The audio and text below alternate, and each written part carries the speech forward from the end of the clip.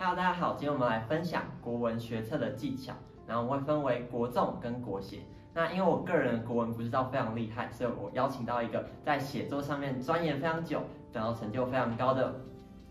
大家好，我是台大国际系的黄乔柔。那我们这集一样分为四点来讲解，那就接着看下去吧。第一点就是广泛阅读不偏食。因为其实我认为近年来的国文其实有广泛不同科目出题的趋势，所以如果你只是看国文的散文或者是经典文学，其实是远远不足的。所以我就建议你至少每天要写一篇的阅读测验，然后去抓重点。嗯，那像阅读测验的话，其实像短篇或者是极短篇，那它们的重点都会倾向放在最前面或最后面。那这种东西你就可以从首或尾去找重点。那如果是稍微中长篇的话呢，它可能会把精彩的东西放在中间。那如果题目要求或者是它可能线索放在那的话，你找中长篇的中间精彩的部分去抓，可能会比较容易一次就找到。那这些的用意就是为了让你在临场的时候，你可能累积多了，那你到时候看到题目，你就会一眼知道说这比较类似你之前看过哪样题型，你要怎么下手。我们第二个部分是熟读古文很重要，不读真的会死翘翘。这真的不是在恐吓你们，是我们发现到近年来的国学常识其实都是从古文十五去做延伸。所以呢，你在读古文十五跟 A 级全文的时候，你要去细读它的注释、字音跟字形，还有它的文学的题材流变。因为其实你熟读这个部分，比你去刻那种国学常识书会来的很有效果的多。因为你熟读那个，其实投资报酬率是很低的，而且。又不一定会考，然后又花很多时间，所以其实我觉得你还是回到你的古文十五跟 A D 全文去做熟悉，这样子会来的比较效率。那我知道有些人可能会很怕古文，那我觉得读古文最重要就是把它当成故事读。那你看第一遍，通常如果比较难的选文，你可能看第一遍只了解它大概三十趴的脉脉络没有关系，你可能可以跟选项互相对应，或者是你再把第二遍你可能没有看到的面相再重读一遍，然后。把第二第一遍、第二遍、第三遍的三种你看到不同层面的东西统合起来，那这样文章的理解就会比较清晰一点。第三个部分我们要讲的是分题型分析选择题。我们从这题可以看到，其实它的错字都是我们生活中常错的字，所以我很鼓励大家在生活中可以去抓错字。像在新闻上常会出现一些积非成是的错误，你就可以去抓，然后就可以得到文字的敏感度。或是你可以从一个句子的脉络去抓应该用什么字，像 C 选项的启用，启用的启一定是开启的启，不可能是起来的起吧？因为它是一个开始去使用的设施，是一个揭开序幕，所以应该要用启。那要怎么迅速找到这题的答案呢？错字通常都会出现在成语方面，不然就是动词。那如果这些都没有找到的话，你们就可以用删去法去找出答案。那其实很多都会出现在我们意想不到的简单的词语当中，所以如果你真的不确定那很难的词语有没有错的话，你可以反过来想一下，那很简单的，说不定其实就是答案就藏在里面。再来我们要讲的是第十八题，它属于文言对比的题型。那这题的答对率只有二十趴，在今年可能大家都会在 B 跟 C 选项之间做犹疑，其实我本人也是选。选到 C 就是错的答案。那究竟为什么 B 是正确的呢？其实 B 正确的点就在于说，他说禽兽亦未尝不知数物，它的未尝不其实就是一个正向肯定的意思。所以我们把正向肯定的意思套进去之后，就会发现说，它其实能够察觉到事物，代表它有对外在感知的能力。再就是说，它未尝不有伦类所爱所疑，就代表说它其实是有情感、是有好恶的。所以 B 选项是完全正确的。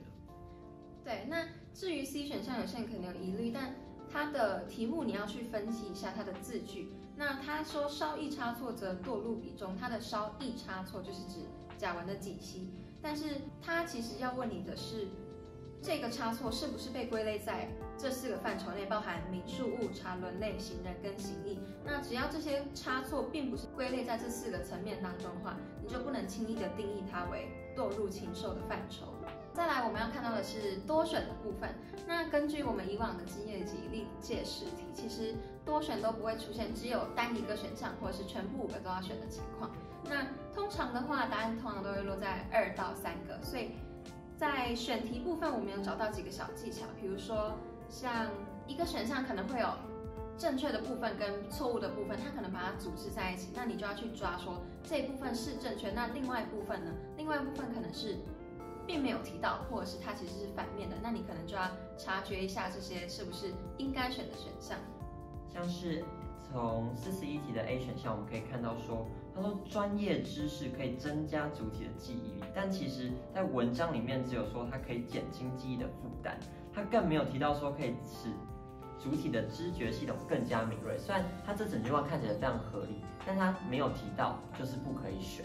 那再是一样容易选错的是 B 选项，他说它唯一的差别在于有背景知识，但他这里说的背景知识是指奇异的背景知识，他没有说是不同领域多种类的背景知识，因此也是不可以选的。那我们要讲的是非选择题的部分。那其实自从改制之后，它占国文的总分十到十四趴，印的是非常重的。那这里要特特别注意到一点，就是说我们选择题是要用铅笔画卡，简答题要记得换成黑色圆珠笔做书写，不然会被扣分哦。再就是我们在答题的时候，尽量要用文章中的字句去写，然后呢，不要因为时间可能觉得会不够，然后就自己精简字句，这样可能会没有写到他想要看到的重点，因此失去分数。在我们从今年的试办考试的三十九题来看，他说前后两次的忍的意义分别为何？那其实他在帮你划线的后面分别都有提到说，第一个是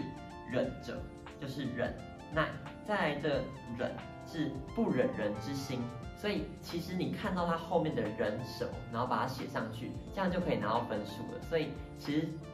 呃，非选择题拿分并不困难，只是你要有耐心，然后去抓到他想要看到的东西。那接下来第二题的话，他问的是说，在戴与不戴面罩这件条件之下，其实是无关的。那就可以回去看到最后一段的地方，他说，就算是以前不戴面罩的时候，所以这边就有做出了以前跟现在的对比。那